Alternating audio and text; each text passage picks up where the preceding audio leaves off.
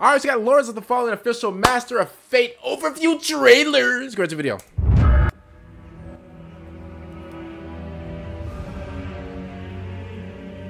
I really, I'm gonna be honest Hello, with you. fellow Lampbearers. Okay, Saul here. After the culmination of our three and a half years of passion, we launched Lords of the Fallen, our debut game at Hexworks. We were truly humbled when we saw that in just over a week, there were already over a million of you embarking upon the wall of Mournstead. Your belief in our vision has been our driving force. Today, we'd like to take the opportunity to share some insights on our transformative new update that will redefine your future playthroughs. I wonder. We take immense pride in Lords of the Fallen, Okay. being amongst the first ever games to launch on Unreal Engine 5, and the very first action RPG to do so. It is in part thanks to this amazing technology that we were able to overlay two parallel walls on top of each other, with the ability to switch Wait, instantly between them both. Hey, that's master though. That's crazy. We wanted to bring something That's honestly crazy. Hold up. Innovative to the genre. Something that will provide a unique twist. That said, this innovation, coupled with a brand new game engine, meant we were navigating completely uncharted territory from a technical standpoint. Furthermore, we aspire to elevate the genre's prevailing online multiplayer mechanic with our seamless co-op. What, did he say online player? To other games in the genre, players stay together after defeating a boss. Wait, this game has as long as online? Since when? While a full co-op campaign was beyond Hey, that's hard. I'm gonna be honest with you. Hey, this is hard. believe that this stands as one of the very best multiplayer experiences currently available within the action. Wait, is this out?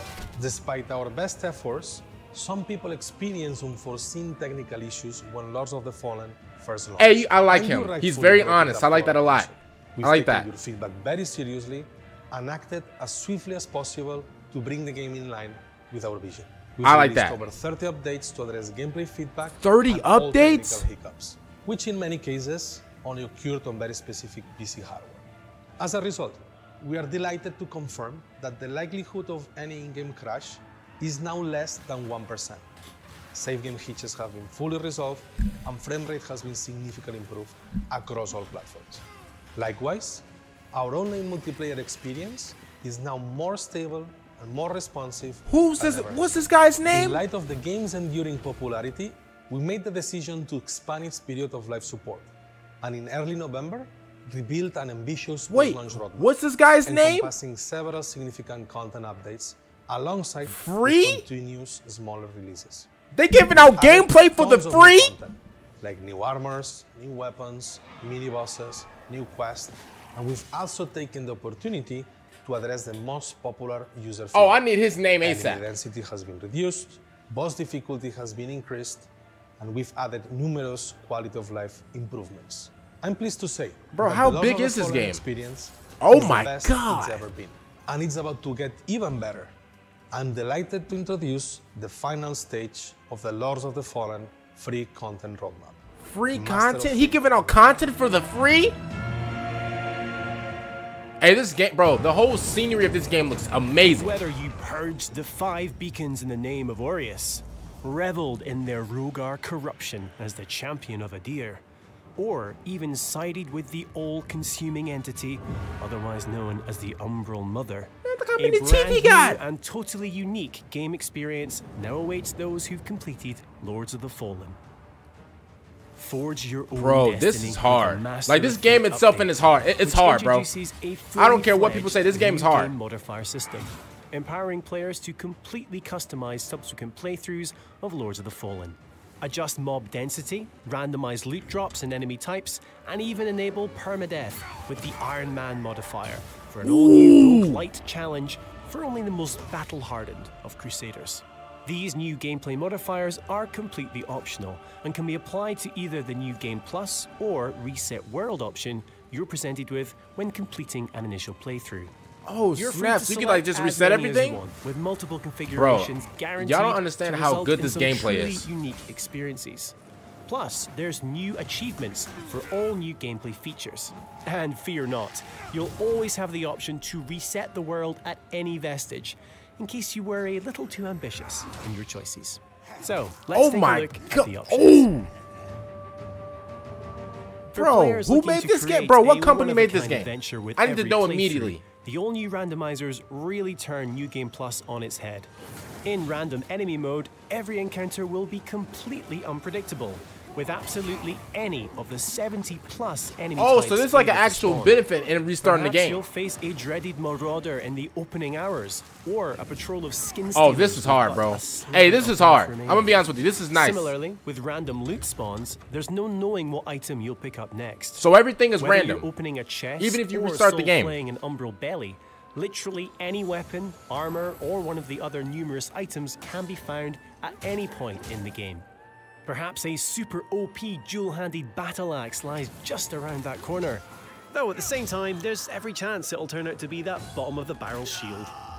In the RNG gods we trust.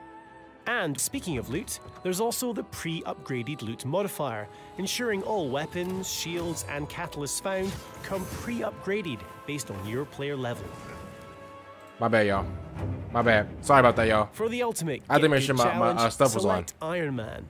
If slain in Axiom, you'll still resurrect an Umbral for a second chance to survive.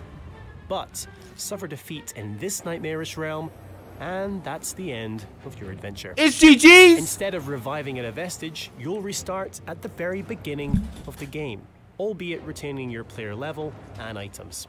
Pair this with our loot randomizer, and you've Wait, effectively wait, whoa, turned whoa, Lords of the whoa, whoa, Fallen whoa. into a bona fide. Wait a minute. If you die, you gotta restart. It's like back in the day. By selecting the withered healing option, you'll no Sorry, y'all, for the whole for the interruptions and stuff. Sorry about that. Instead, when you use your sanguinarix or other consumable to heal, you will only receive wither, meaning you'll have to play aggressively for any chance of survival. Dang. So they're making you become like aggressive. for many a dark crusader.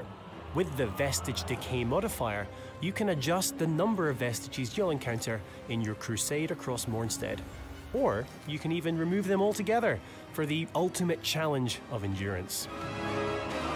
More enemies modifier. Challenging enough. There's the more enemies modifier. Oh, no. Which increases the number of formidable foes you'll Oh, encounter. Oh, oh, oh no! I'm not turning that on. Oh no. So, whether uh-uh. you want to make I'm not getting easier, jumped. Harder, or simply rearrange a few things for an equally unpredictable second, third, or even fourth journey through Mournstead, become a master of fate. So this actually, like, benefits of you playing it over again. and free for all owners of Lords of the Fallen.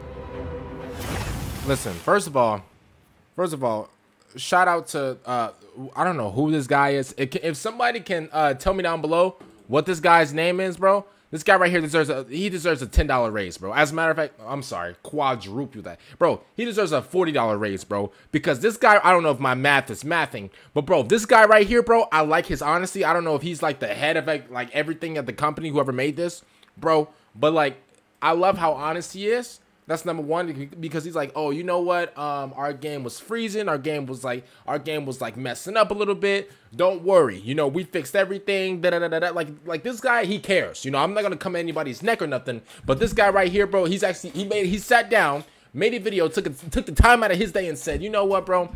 Um, as a matter of fact, we were messing up and uh, I would just love to tell everybody that we fixed it all. And best believe that uh, that less than one percent will lag and and stuff like that, bro. That's absolutely perfect. But I actually wish you know more.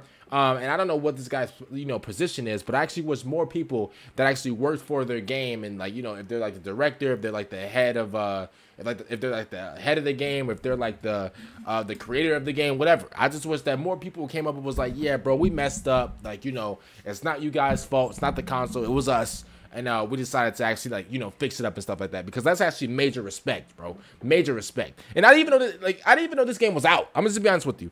The game it, seems like this, this you know this game is out. So if it's actually out, then uh, I'm, I'm gonna be honest with you. I might have to get it. I didn't know this game was actually coming out.